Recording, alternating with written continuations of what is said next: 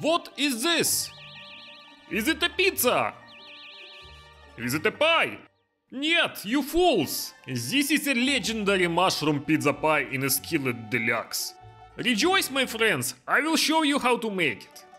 Let's start with the fruits of the forest, the shrooms. We need about 8 to 10 ounces of regular default mushrooms. By the way, friends, do you know that mushroom is very scary? I play a video game recently, and in the game, mushroom penetrate the human brain and control it. Very disturbing, but good game, at least 5 out of 7.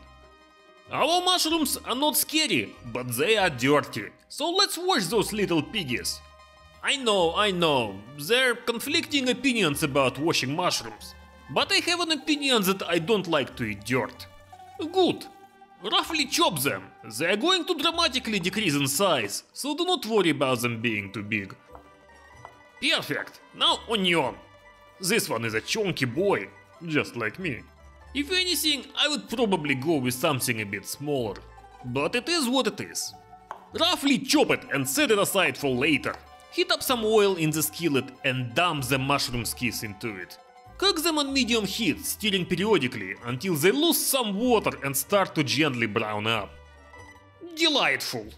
Dump in the onion, generous pinch of kosher salt and cook until onions are soft and uh, translucent, which means transparent but not really.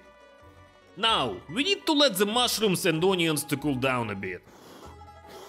I usually put them in a colander thing so that any leftover oil will drip away. While they are cooling down, let's prepare a simple dough. A canvas that will hold our masterpiece.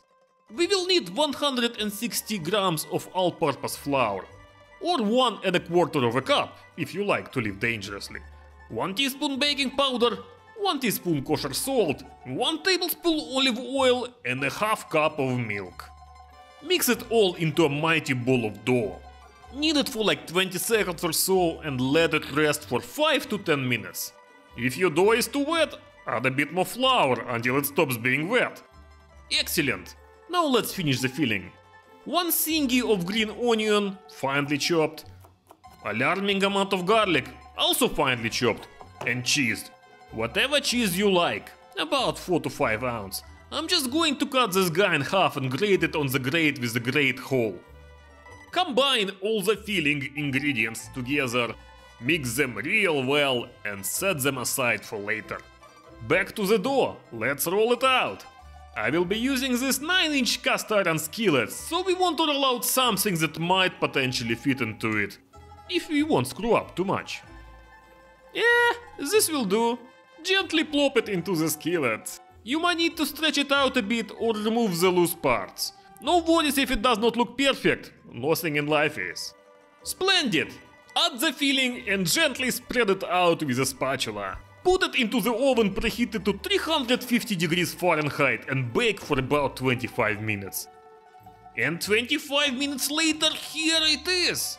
Look at this beauty! Soft and fluffy crust and delicious cheesy filling. I'm drooling very hard at the moment, my friend. But it is not done yet. For a final touch, we are going to sprinkle it with fresh oregano leaves. This makes it smell almost like a pizza, which it is not, in case I was not clear before. Eat it while it's hot, or wait until it's cold so you can heat it up and eat it while it's hot. It's very delicious, my friend. And this is it, friends. Thank you for watching and have a great day. Roughly. Stupid virus.